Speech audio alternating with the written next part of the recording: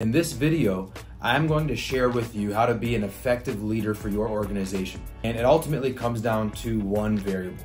It's you. Are you doing the right things to ensure that you are getting the most out of your employees and out of your mid-level manager? If you have an employee that you believe is not exceeding or not even coming close to matching your expectations, it comes down to these three things. One comes down to communication.